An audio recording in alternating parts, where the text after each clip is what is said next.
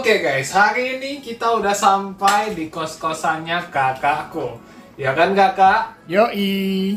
Oke, nice. Sekarang, uh, ya hari pertama aku tidur di kosannya kakakku guys.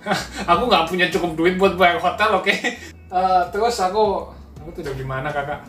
Uh, kamu tidur di bawah. Ya, bawah. Bawah. Ya betul, di bawah.